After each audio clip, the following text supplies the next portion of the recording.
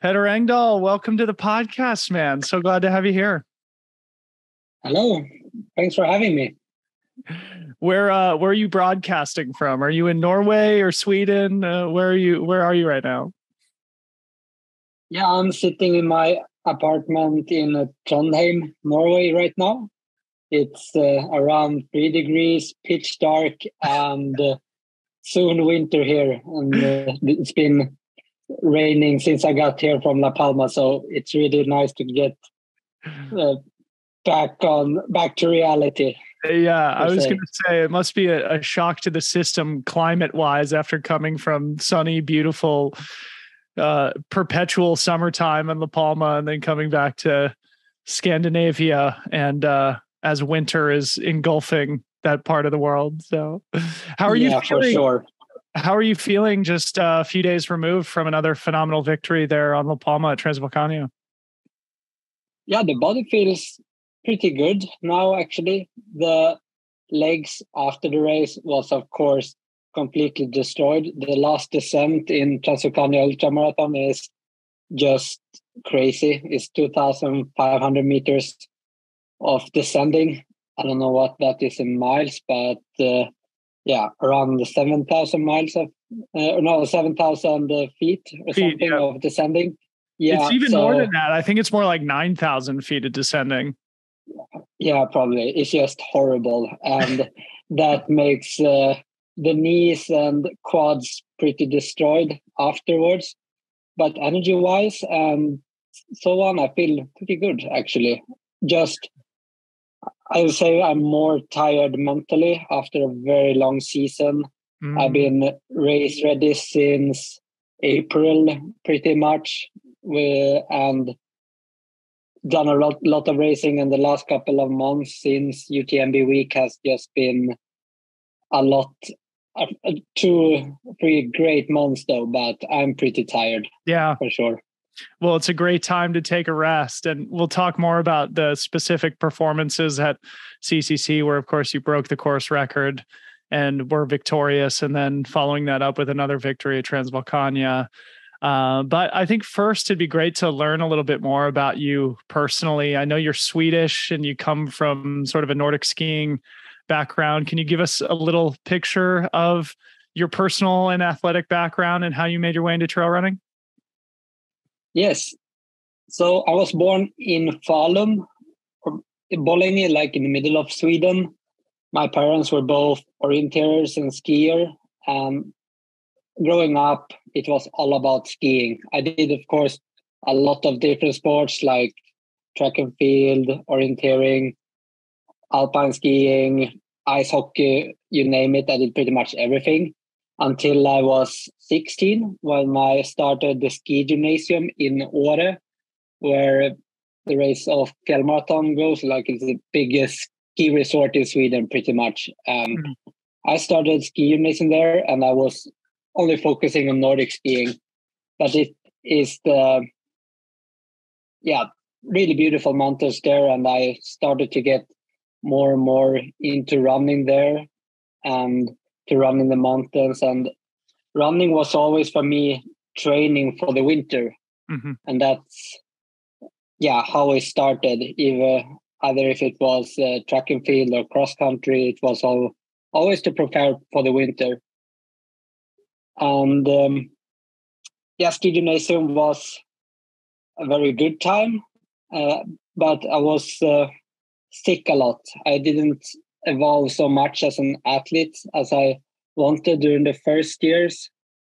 I Had a lot of problems with my health and just sick all the time.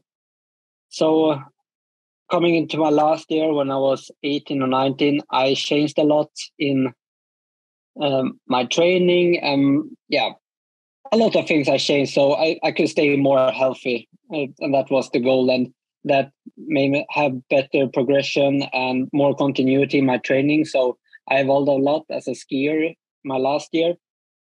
As a junior, from not being top uh, 30 in the, my age group to suddenly being top 10, which mm. was really inspiring. So I decided after that, okay, I want to go all in for Nordic skiing and see how I can, how good I can be So stopping when I graduated gymnasium, I decided to yeah go full in and I moved to a mountain station outside of Åre where I worked a little bit like once a week for house room and the food but otherwise I was just running in the mountains there and uh, roller ski we had our own rail, roller ski track like uh-huh. in the uh-huh. middle of the mountains super cool place but very isolated and uh-huh. I got a little bit too isolated up there in the mountains, but it was great for training otherwise. But it was really there where I started to change a little bit towards trail running and where I also started to follow the skyrunning series and I got to know Emelie Forsberg a little bit when she came there and yeah just started to run a lot in the mountains, as I mm. say, for training for skiing, but I wanted to become a better endurance athlete. I was good in the short distance, but I wanted to be better in the 15 or 30 or even 50k distance. Uh-huh. And as a, I, I'm not the biggest guy in the world. I'm uh, like 170 centimeters and uh, 60 kilos.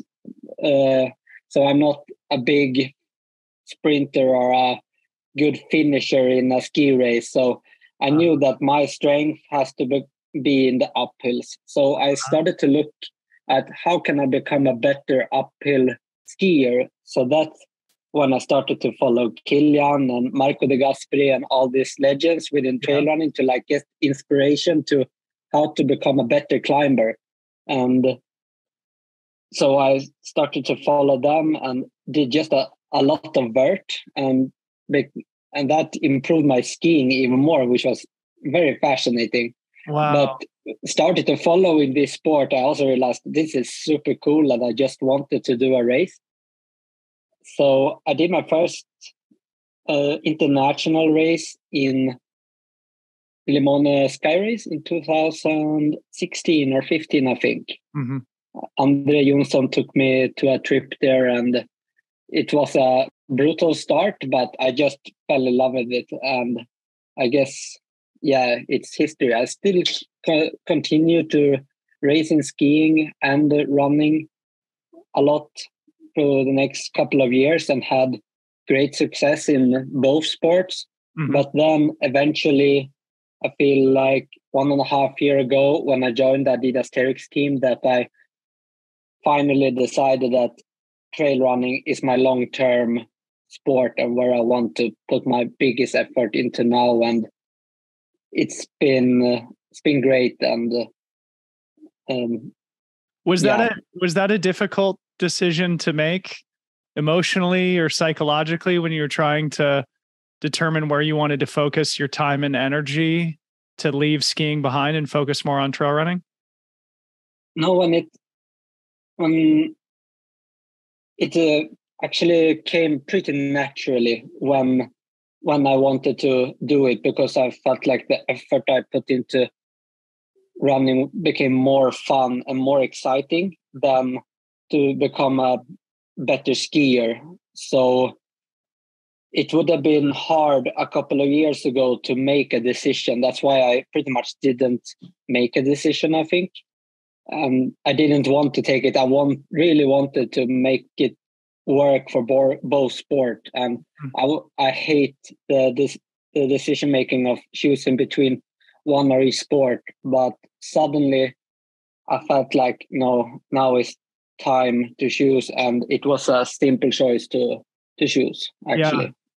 Now that I'm thinking about it, as you said, it was a year and a half ago that you sort of made this decision and it coincided with you joining the Adidas Terrex team. And over the course of the last couple of years, your running performance has certainly gone up a level. Would you associate your increased focus on your run training and maybe your reduced focus on skiing with this jump up in international performance that you've had at OCC, CCC, Transvulcania, et cetera? I would definitely say the last one and a half year that that result has been a uh, direct correlation with me focusing more on the on running for sure. Mm-hmm. And uh, yeah, I just got that extra focus during the racing and worked on some specific things that I didn't put my effort into before. Before it was more of yeah, building very strong upper body or specific uh, roller skiing training and so on. But this one last one and a half year, I've been more looking into my weaknesses as my, as a runner, mm. and so that um, naturally gave me pretty quick progression in those areas. Amazing. I think, yeah. Well, I'd love to come back to that in a sec, but before we move off Nordic skiing entirely, I'd love it if you could make an attempt to capture the importance of Nordic skiing in the Scandinavian countries and in the sporting culture uh, from where you're from. And if there's any maybe pieces of lifestyle or anecdotes from training that have carried over from your Nordic skiing career into trail running.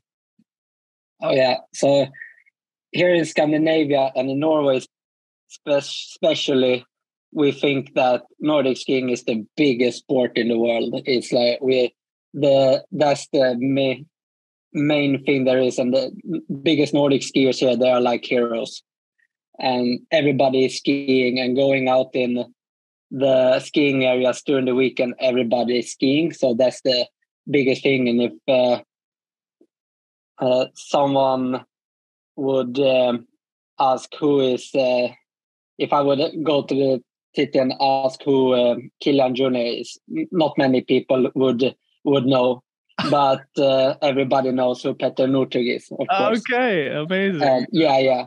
And uh, for you, example, did you, if you go to Sweden, did you know, you know, Ultravasan, the, yep. the, yeah, the it's actually a ski race from the beginning. I don't know if many trail runners knew that that that's the biggest uh, ski race in the world imagine and that the ultravasan is just a side show yeah really. the Vasaloppet right is what it's called? Yes exactly. Explain yes. that because I, I i forget the statistics on it but there's some ridiculous number of participants right?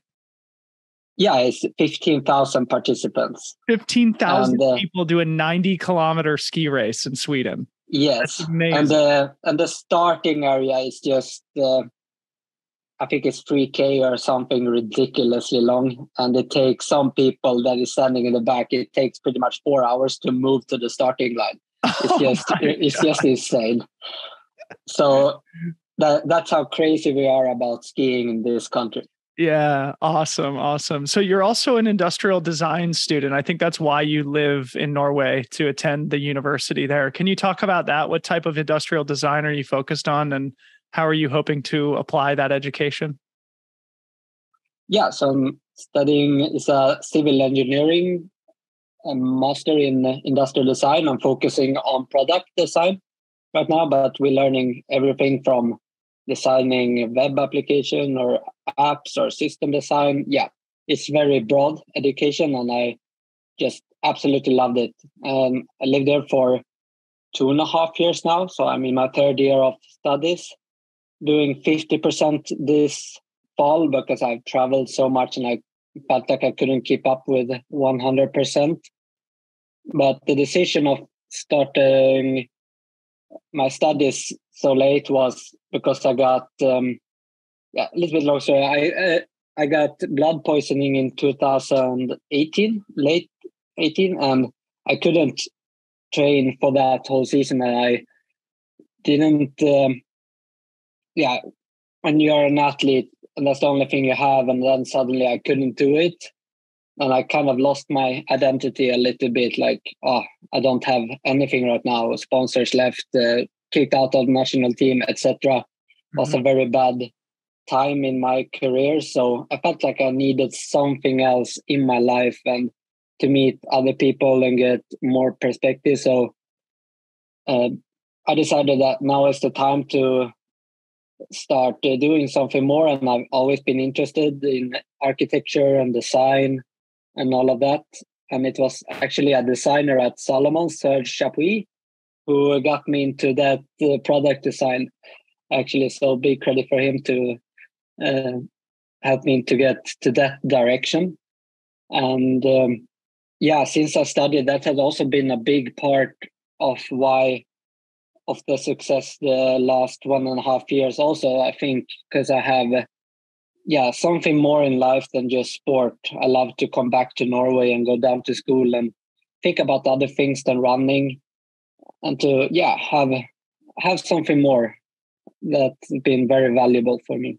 Very cool. So, is the ultimate goal to apply this education and make outdoor equipment, footwear, apparel, things like that? Uh, that would, of course, be very cool. I'm working a lot with the designers at Terrex right now, and that's I think it's super fun. But we will see where, where I eventually end up. I think transportation is a very interesting subject and how to solve that, or um, also architecture and system design. So yeah, we will see where I end up. Very cool. So going back to your progression as an athlete, specifically as a runner, you started in sky running, like you said. Your first race was the Limone Sky Race in Italy, and you've recently had incredible success in sort of the 80k to 100k distance how do you view your strengths and weaknesses as an athlete do you feel that you're more suited to the longer course racing as has been reflected in your results this year i would not like to think that because i do really enjoy shorter races also i just haven't been that fast i think on some of the shorter distances for instance, in the flat and some of the uphills haven't had that high threshold pace mm. uh, that is necessary for a for a shorter race. So, um, but I do enjoy like every kind of race, so on, and I have a uh, probably will get some get yeah into that later, but I don't see myself going into more and more doing long only longer races. I really like verticals, vertical case, and uh, yeah, shorter races also. But I can't. I don't really know why. Well, I have some ideas why I really um why 80k or 100k suited me very well. But um, yeah, cool. Yeah, I mean, it's good to hear. I mean, obviously, some people are naturally predisposed to success at certain distances and maybe you are for the longer distance racing but there's still a lot of value in testing yourself and competing over the shorter courses as well and uh, i think it's good to use those opportunities to sharpen up and develop skills and then you know tee up a race like ccc and end up breaking the course record the first time i remember seeing you on the scene petter was at the 2019 transvulcania where you were hard off the front early, ultimately sort of faded, but still had a very strong podium performance, third place behind Thibaut Garrivier and Dimitri Mityaev, two fantastic athletes in the sport. I know that was your first ultra marathon. What did you learn from that experience at Transvulcania as we begin to move towards talking about this year's race? Yes, that was a that was a hard race. I remember, and going back, it was my first longer ultra, and I was super nervous, but also very excited to finally step up in that distance. I had done some longer races before that previous summer. I did Trofeo Kima, which is a little bit over six and a half hours. So I was used to being out for that long time, but the distance of 75k was completely new for me. Trofeo Kima is just very slow and technical, so that's why it takes a long time.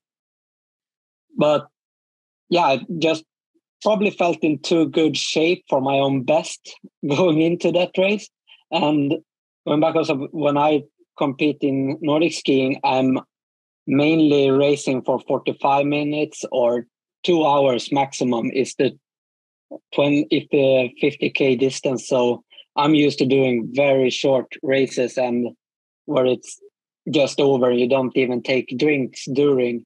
Yeah. So doing a ultra race for the first time I was just going flat out because that's what I usually do. and uh, I, I, took it as a race from the start and not like having uh, the first couple of Ks, you know, as a warm up, as the, you later learn to to do. You don't waste energy in the start. You try to get into the race, but I was just flat out for the beginning, get getting a good position and just try to. And then suddenly I had a gap after just one and a half k or something, and I and I was like, oh, this this will be fun. And then I think I remember getting up to six or eight minutes after El Pilar around 35k. Yep. But then I actually got bored. I got really bored. I just wanted to finish or take up my phone and call someone because I just I was used to be finished by then, and to uh, to have a couple of more hours of racing was just oh, this is so hard. I don't know if I ever will do this again, and uh, yeah, I think I lost a lot of minutes just because I was slowing down and not being focused, and then I managed to get some more energy drink and focus. Now I've learned a lot to stay focused during all of those hours and be more strategic with the decision with the decision of uh, taking uh, gels and um, solids or yeah the nutrition but also the race strategy stuff and just not uh, going by feeling or going max from the start and see how long it goes because that was what I usually was doing in Nordic skiing. Then you go yeah just follow the group or the peloton, as we say, because it's much easier to ski in the peloton and then you drop off. Uh-huh. Yeah, later in the race, if you do. But um, uh, so I have vague memories from those last 20 Ks. I remember falling somewhere in the long descent and hitting my knee, which swelled up to a melon after the race. It was not very pleasant and uh, also yeah just being completely destroyed the last days after but also remember the joy and the relief and emotions after that race that I never really felt before. It was just an amazing feeling. And even though I had the thoughts of I will never do an ultra again, I pretty much put them uh, the, those thoughts aside immediately when I crossed the finish line. I was like, I really want to come back and do this race again. Yeah, it was. Uh, it is a great feeling, I think, and then after the race, I also learned a lot about myself and about the body, uh, like how much uh, impact it actually has to do a this kind of this kind of effort. Mm-hmm. So it was not only the learnings during Transvulcania that I took with me, but also the aftermath of it.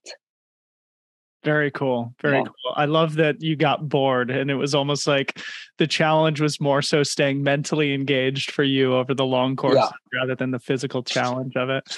So as we move to talking about races that you've done more recently, before we get there, I'd love to just talk a little bit about your training and ask you to characterize it if you could. I had a look at your Strava and it seems like you take a fairly moderate approach to volume, but it seems like you spend some time on the track. Obviously, you still spend time on skis. So, can you just give us a glimpse into your training philosophy and specifically if there's anything that you've changed in the last year and a half or two years that you think has contributed to your incredible run of success? Yeah. First of all, I am. I come from a uh, background of much more volume than I have right now because when I do a lot of skiing or roller skiing, there's less impact on the legs. Just like cycling, you can do a lot more hours than you can if you're only running. So I'm used to having uh, over 1100 hours per year. That was my normal training volume when I was 23, 24 years old. So, um, but it was around 50% skiing or roller skiing during the summer per se, and then 50% uh, running. So I ended up just having around 60 Ks or yeah, 50 miles per, roughly per week. Mm-hmm. Then and then the rest, like 15 hours of, per week of roller skiing, um, which gave me a lot of volume then, and that I think that I still that base has helped me now. I think to have that volume in the bag per se, and not not having to do it, but it always always helps. I think now when I move more over to running and when I started to become more of a runner per se and look and uh, having more sessions on like I say on the track or the treadmill or in the mountains it has a lot more impact on the legs and I wasn't used to that in the beginning so last year it was pretty moderate. I still did a lot of roller skiing in the summer. Not not a lot, but much less than I much less than I did before, but still a moderate um, volume. So I had maybe average 100k a week during last summer and some roller skiing. So it was a little bit less volume in time overall, but for sure much more distance in running, which has another impact on the body. So I was really taking that into consideration when making my new plan as a runner because um, I and I don't longer look at the um, the training of volume in time. It's both a mix of between the distance and the vertical gain and the time. So it's mm. just like you have to put all those factors in consideration of how it impacts your body. Mm-hmm. And um, so going into this year, I um, I took that into consideration and knowing that I I can't do 25 plus or 30 hours per week like I did before. So mm-hmm and I can't either do, and I, I, I felt like my legs can't handle doing 250k per week. Yep. But and uh, still having interval sessions where I feel good and uh, uh, feeling fast and where I can have yeah progression in my speed because that is something in my background I have based a lot of on my training on interval training and having uh, sessions um, two to three times per week mm-hmm. in uh, so um, and i still wanted to keep that to not doing yes so drastic things so the the volume training is uh, when i plan my training is always around those key sessions okay. se and uh, maybe something that I do specifically that is a little bit different is that I do like double threshold sessions, maybe um, two times, two days per week, double threshold session during one day. For it's nothing super new. It's something that they use in meaning you do, field and, you use two separate workouts on a single day. Exactly. Mm-hmm. So that is something I had uh, experimenting a lot with the last two years. And that is, uh, yeah, training uh, that is quite common here in uh, Trondheim, and uh, have also done it uh, a lot previously. But uh, it's um, yeah, so looking at something as Strava is maybe hard to get the full picture. I think, but I think something that you could take it from it is that um, yeah. Oh, okay. Oh, continuity is king. I uh-huh. think it's, uh, and that is something uh, I try to go after. Awesome, awesome. It makes me want to ask. Of course, you you're living in Norway. Your neighbors, so to speak, with Jonathan Albon, Kilian Jornet. I know uh, Eric Sebastian uh, is Skuldberg, I think is his last name, is living near there. You mentioned Emelie Forsberg being an early inspiration for you as you're transitioning towards running a little bit more. Is there anything specific you've learned from being around those athletes that you think has helped you as you know whether it applies to training or race execution or just being a professional athlete yes i've for sure learned a lot from yeah especially kilian and uh, john i think mm-hmm. john in particularly i met him actually the first time i raced transvulcania we shared a room there and i we immediately clicked and just been uh, we just chat chatted training all day. It was uh, really really fun.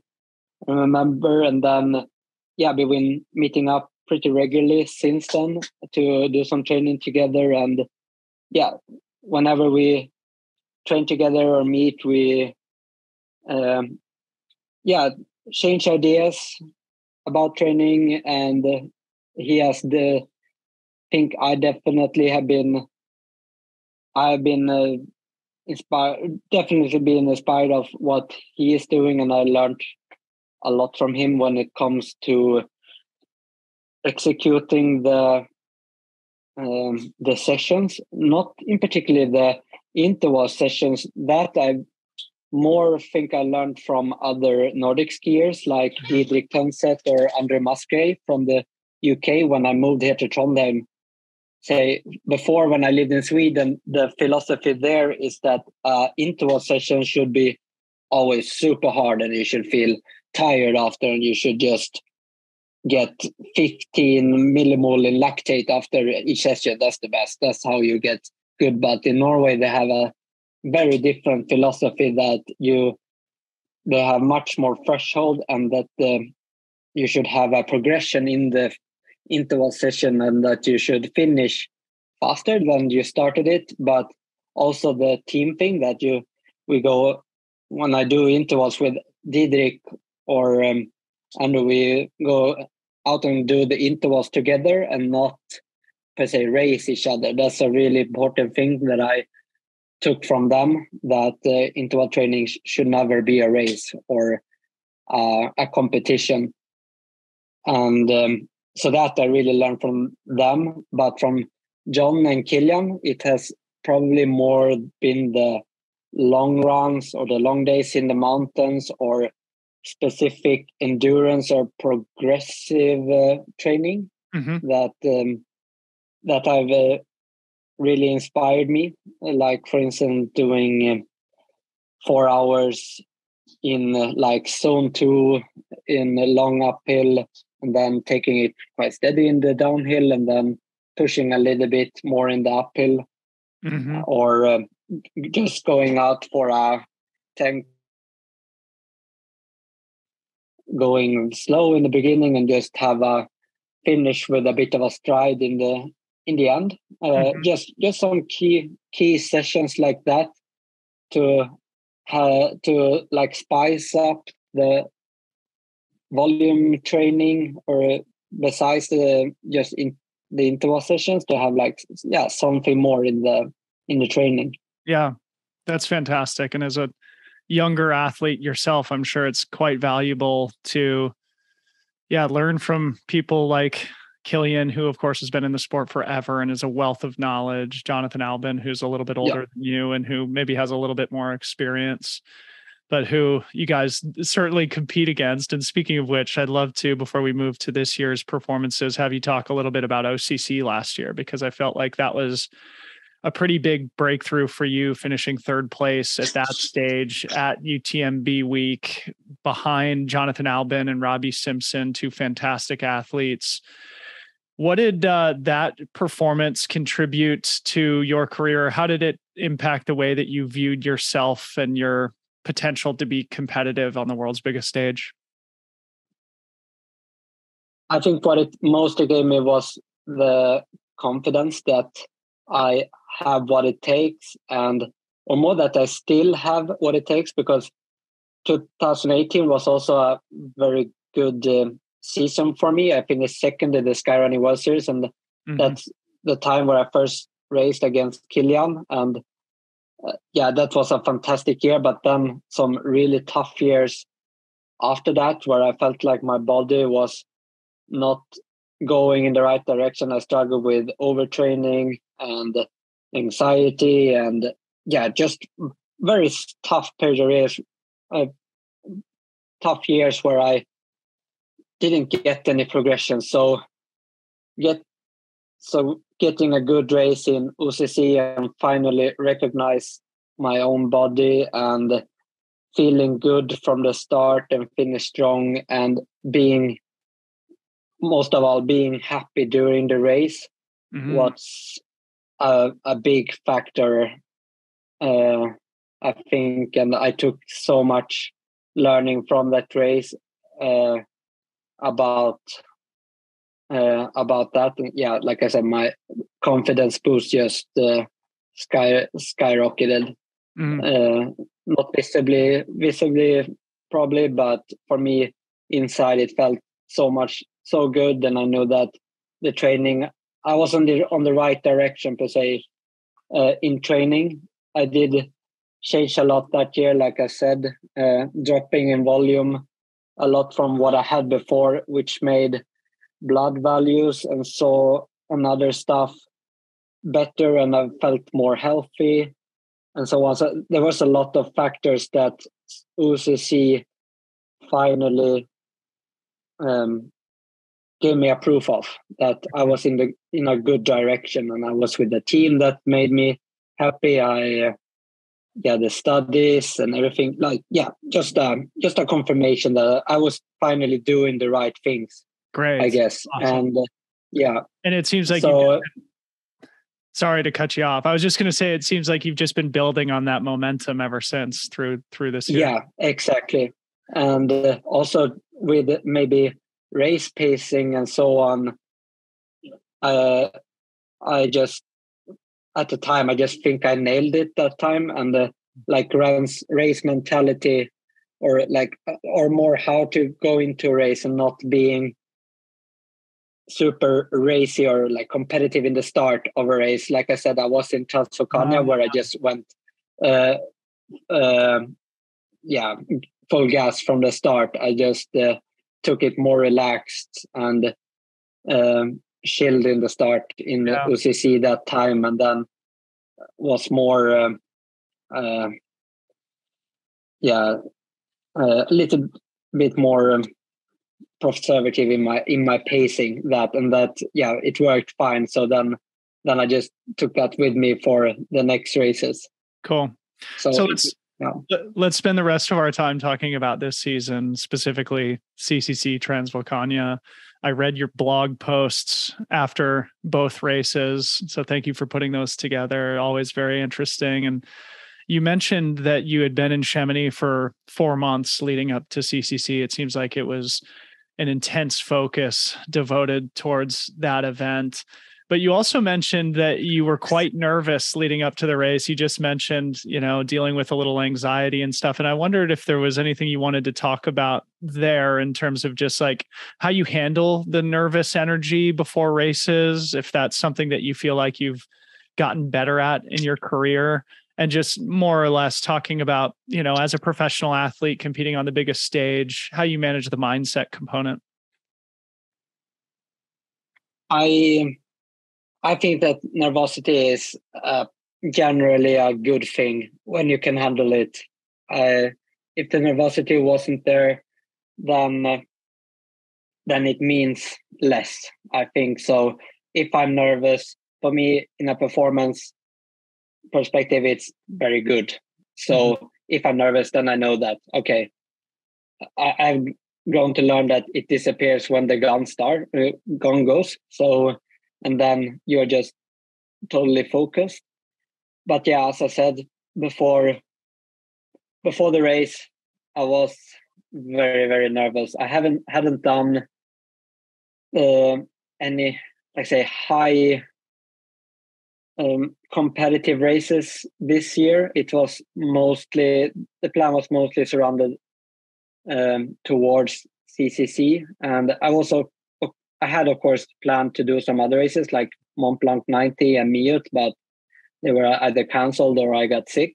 Mhm. So I hadn't really tested myself against like the best runners in the world. The only confidence boost I had was from doing uh, a session with John and a long run with Kilian, which like okay, I, I'm I'm probably in very good shape, but still it's a UTMB week and it's normal to be nervous for sure. Yeah. Mhm. So, um, but uh, I think the anxiety and the race nervousness that I more had before was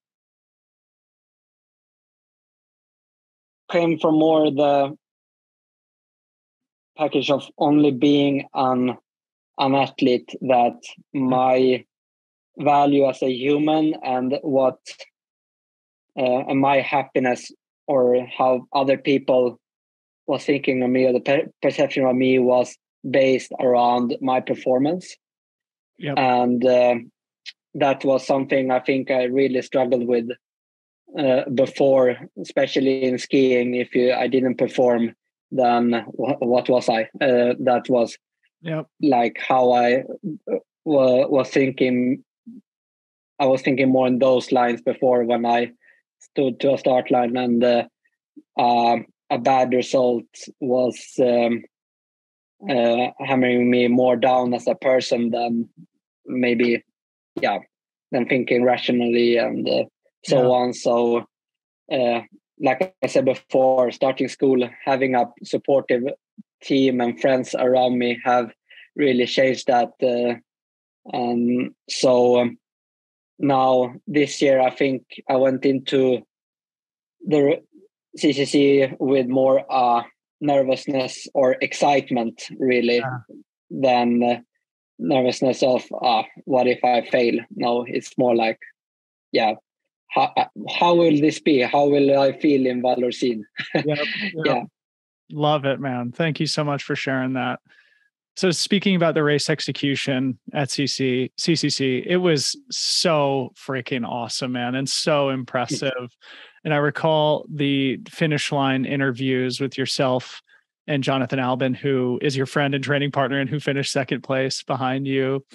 I think he said that you guys were planning to work together, but you were pushing off the front. We were just talking about OCC where you felt like you'd really nailed the pacing and you weren't too aggressive. So maybe we can continue that conversation as it applies to CCC. How were you thinking about that strategy? And were you feeling in control or were you being more of that aggressive style of racer uh, at this year's race? Because you were pretty much in the lead from wire to wire. Yeah.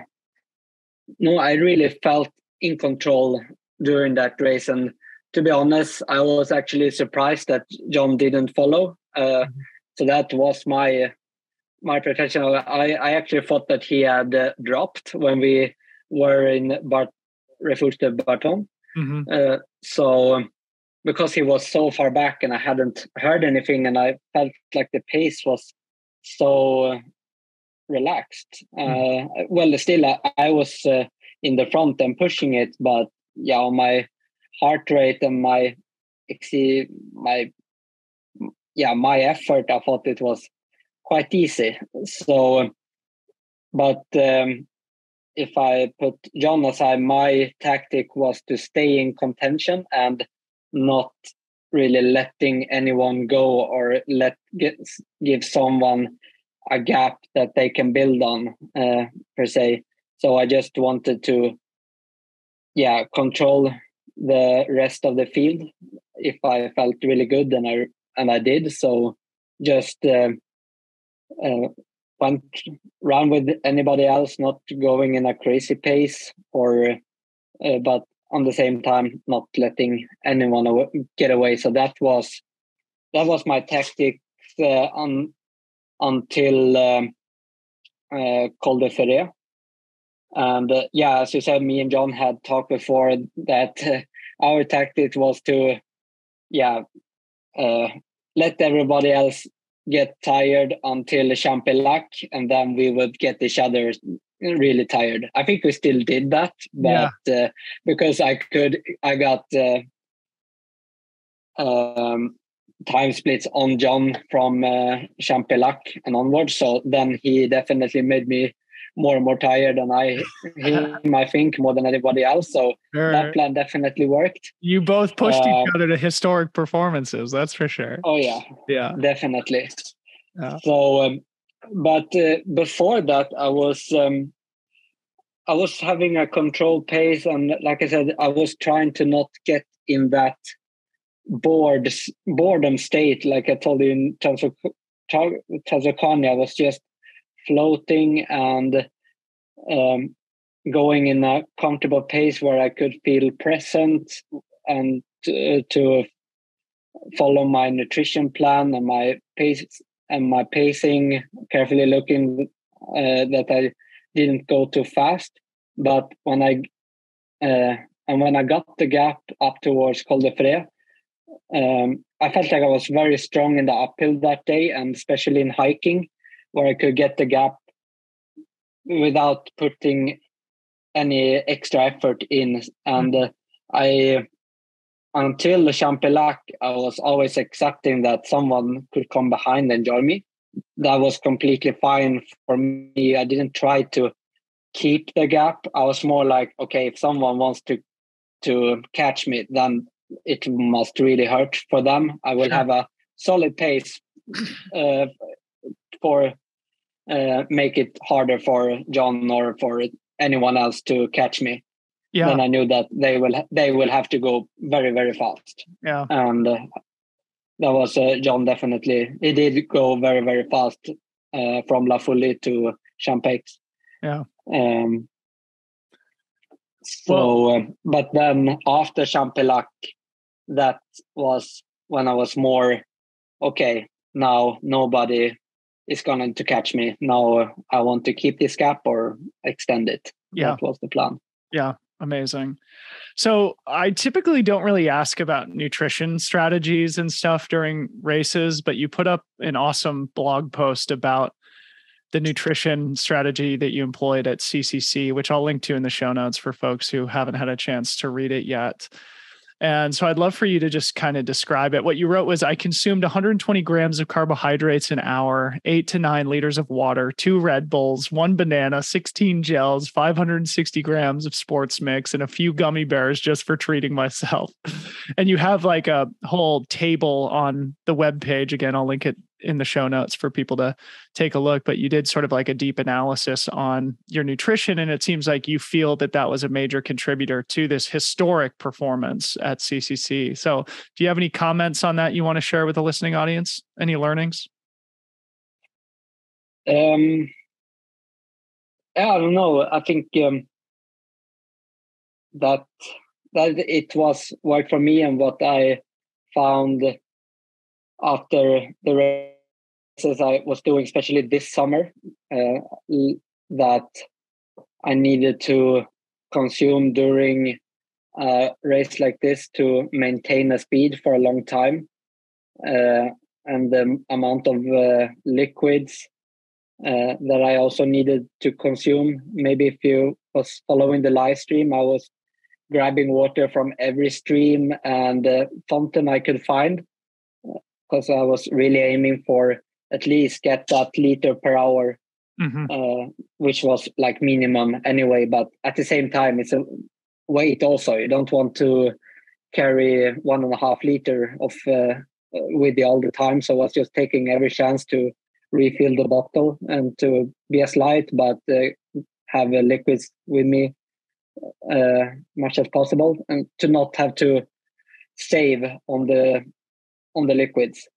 But then maybe maybe the more interesting thing is about the solids. I think I took uh, a banana first time after 25 or 30k mm-hmm. and then a bar towards La Fouly and that was uh, my thought process about that was to have it that's pretty like soon lunchtime and I feel after the previous races, I gotten quite hungry, or like I feel my stomach needs something solid and not uh, just rely on gels. Mm-hmm. So still, I from previous races, I reduced the number of gels from one every 30 minutes to one every 45 minutes.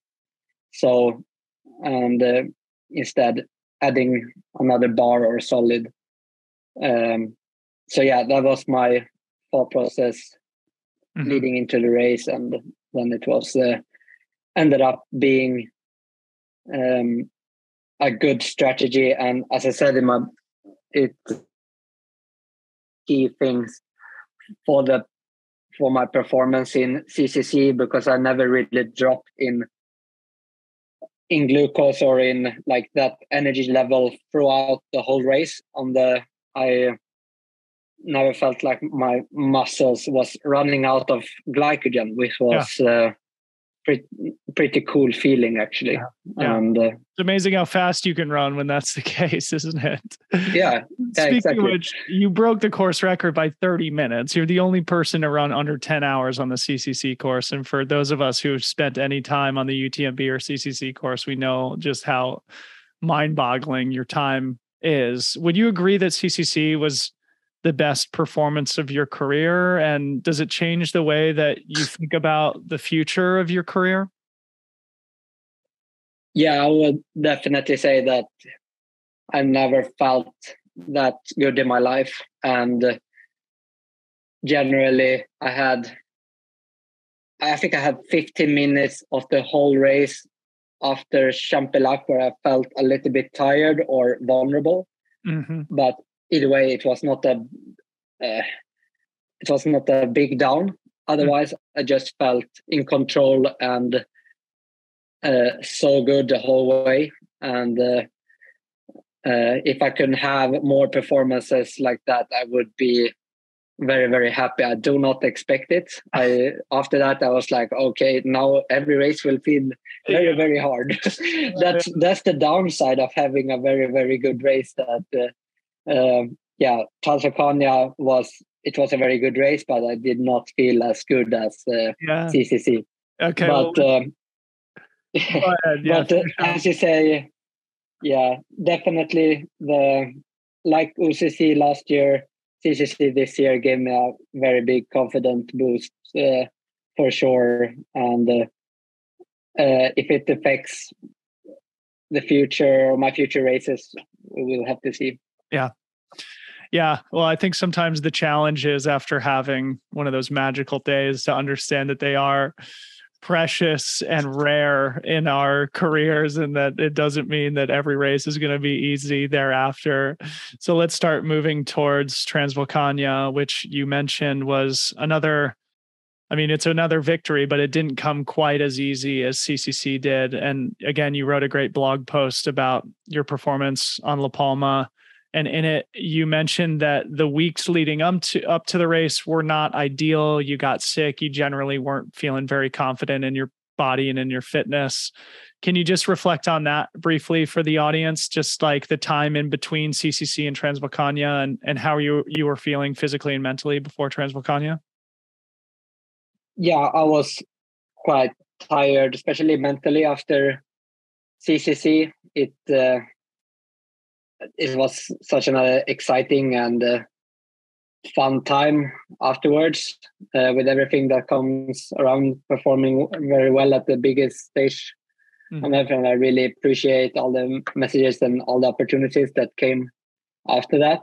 Uh, and uh, yeah, like I said, I got a little bit sick uh, right when I was starting to get back in training after CCC. It took some time to recover, and I was, um, yeah, really careful with the recovery after CCC, both physically and mentally. But the closer and closer to the race, we, uh, to Transvulcania came, the more stressed and maybe nervous I got because it was, uh, yeah, I was still not feeling uh, mentally there when I went to La Palma or, or felt like I had done uh, the perfect training block that uh, I had done for CCC, for instance. I've been I was training good, but I was not in the environment where I felt like I needed to perform my as my best. Trondheim is very very nice place, and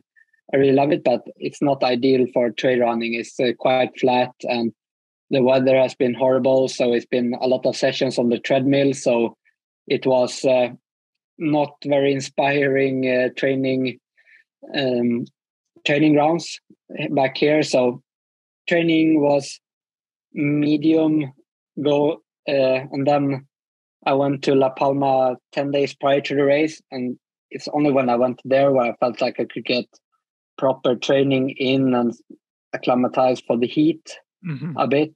So uh, then the question was, is this enough time to get in uh, okay shape? And I think it was actually. I think those uh, ten days really did a lot to my fitness and mental state going into the race. I, me and Abby Hall, we had an amazing time on the island, checking out the course and uh, uh, training there. So that definitely gave a lot to the race. And you guys both won. I'm actually recording a podcast with Abby later today too. So, oh, you are. Uh, yeah, oh yeah, I'm a huge, huge fan of of both of you guys. But of course, you know, her being an American and just having a fantastic, like you, the last couple of years, especially since she started focusing more on her professional running career. Anyway, we'll talk more about that with her, but it was awesome to see you guys yeah. put together a victory. In your blog, you describe a moment where you lost contact with the leaders and you questioned whether or not you were out of the fight for the victory. Can you take us into that moment? How did you stay focused and eventually catch back up to the lead? Yes, at kilometer 35 roughly in after El Pilar, I I stopped for a pee break. I was uh, still together with uh, uh, Miguel and uh, the man who was in the, together with me in the lead group, uh, and feeling okay, but not. I was always running the first 30k and waiting for the legs to to get smoother and to feel better. I was having no problems with the stomach or energy wise was just the legs were not moving very smooth or not much power in them. So yeah, I I needed to go and have a pee break, and when I was done, I felt a lot of the energy just run out of me. So I had some rough kilometers there on the flat just to try to relax and to get back to it.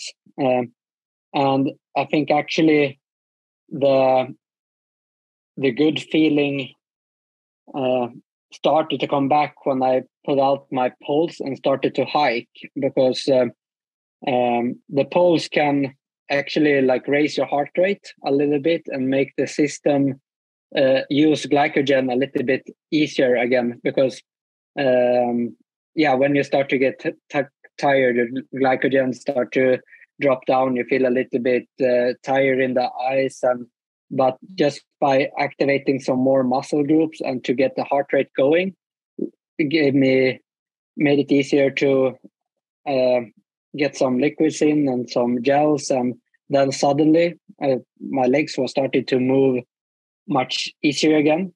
And uh, yeah the, uh, during that time where i started to thinking now i'm out of the race. It was more that the others they looked so strong on that flat and they looked uh, like they were moving very very fast. Mm. so i was really unsure if uh, i was would be able to catch them. And uh, the uh, it's such a competitive sport and you can't uh, uh, you can't think that everybody's just going to blow blow up because generally there's always some some people who don't blow up and just can keep a very high pace mm-hmm. from the start. But luckily, I was able to uh, accelerate and to move up in speed and intensity and stay more focused towards the highest point of the course. So, uh, and when I suddenly um, with the front guys, the focus and the race mentality came back, and then it was just go from there. Awesome. Awesome. So ultimately, you won by 30 minutes again, another just dominant victory, even though halfway through you were maybe a little bit reluctant to believe that you were going to do it or skeptical in your ability to deliver another victory. At the end of the day, it was very convincing. So I wondered if there was any lessons you you take from that, you know, having everything click at CCC and deliver a historic victory and then have it be not as easy but still a winning performance at Transvulcania. It's maybe a indication that you're still able to perform well when things aren't ideal. Can you talk about that? Any lessons that came as a result? Yeah, I think the lesson of staying calm and um, more focus on the body and uh, the things that you can uh, do yourself or the things that you can prevent. I, I can't do anything of what the others are doing or how they are running or racing when the uh, when the hard part came or where I didn't feel so good, the only thing just had to focus on what to do and not stress up about uh, increasing the pace. Really, just let uh, it doesn't help pushing even more if you start to feel tired. Then the energy would just run out of you even faster. So take a deep breath and uh, uh, step back a little bit and then try to solve the problem. I think that, so. That was uh, something that I took uh, with me for sure.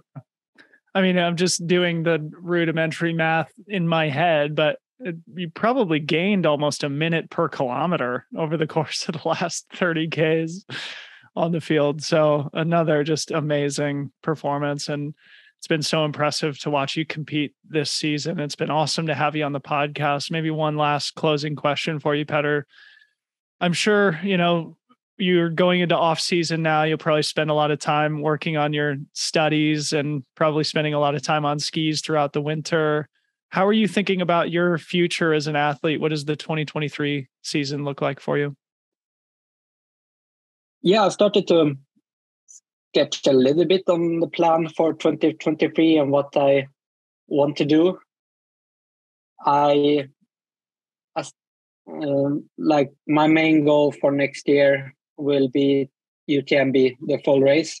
That is something uh, that uh, I have been. Uh, that is something I've been uh, been wanting to do for a long time. I I wanted to do a bit shorter distances first to see do I really want to do longer ultra stuff. And I can say after CCC, yes, I really enjoy it and I would like to try it. It's the yeah one of the first races I started to follow. It's um yeah, I just want to give it a give it a go. But um, uh, I also started okay to look how do I want to train for it? How do I want to prepare for it? And uh, uh, I more leaning towards uh, Kilian style of approach to do more short races uh, to prepare for it.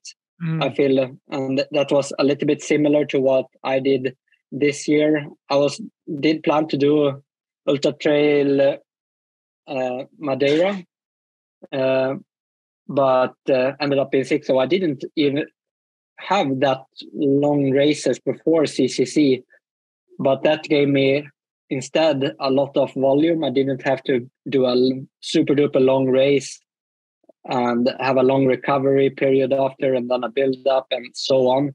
By having shorter races, I realized that I can maintain a much higher volume. Uh, so and I still really love to do races like Zegama and um, Mont Blanc Marathon or uh, mm. Yeah other shorter races. So uh, that uh, I'm looking into what kind of races to do until UTMB. Mm. But otherwise, I'm still uh, looking to do my um, summer season in Chamonix and have Chamonix as a base. Is the village and the valley I really love and uh, like to spend time in. And yeah, awesome. so just a little bit on how it will look. So yeah, interesting times. Yeah. Well, thanks for sharing it. And I'm sure our listening audience will be very excited to hear that you're planning to stand on the start line at UTMB. I think it's the natural progression for you now as a CCC champion and course record holder to step up to the even bigger race there. And I think it's why. Yeah, definitely. if, you, if you think about what your teammate Tom Evans did this year before his third place performance at UTMB, I think he only had done sort of two 80k ish races at Trans Gran Canaria and Madeira, the two shorter races there, and then left his biggest performance for when it mattered most there on the UTMB course. So I think it's smart for you to do something similar. Yeah, I was, um, but I wouldn't say that, like, yeah, stepping up from 100k to yeah the 100 mile is like the progression you should do like only because you have a, a amazing performance at the 100k distance doesn't mean that oh now you have to go to 100 100 miles mm-hmm. I, I still think uh, that it it was it is just my ambition and my something that I want to try personally and uh, I have I really want also really want to go back and give a new try on OCC, for example, uh, in the future. I don't only because, uh, or even CCC. Uh, I don't want to go back next year. I feel like I can't really improve on that performance, and it wouldn't be the most motivating thing for yeah. me right now. But after right now, for me, the most motivating thing is to try a longer distance than the UTMB because it's been in the back of my head. But if you still feel like I've things to improve on a 100k distance, I think is uh, why should you step up or even the 50 or even at the OCC distance. Uh, yeah, you don't have to go up to uh, the 100k uh, CCC distance or the 100 miles that that should be like the the norm or the biggest stage of racing. I do I do hope that OCC and CCC get the same kind of recognition and uh, uh, prestige as the main race, so that uh, younger race runners or uh, runners with a, a, different kind of uh, skill set feel like they don't have to increase in distance. Yep. I 100% agree. Yeah. I'm so glad that you said that. And as only 28 years old, I think, as you are now, you absolutely have the opportunity to go have a fantastic race at UTMB next year and then maybe go back to OCC. And it is most important to just follow what you're motivated to do and not let the pressure of the media or your sponsors or expectations of the fans dictate your career, but to follow that intuition, yeah, for sure, ambition. Well, Petter, man, what an awesome time it's been for me to have a chance to sit down and chat with you. Congratulations on the awesome season that you've had, and look forward to seeing what you do in the future. Thank you, Dylan. Appreciate for yeah for being with you. Yeah.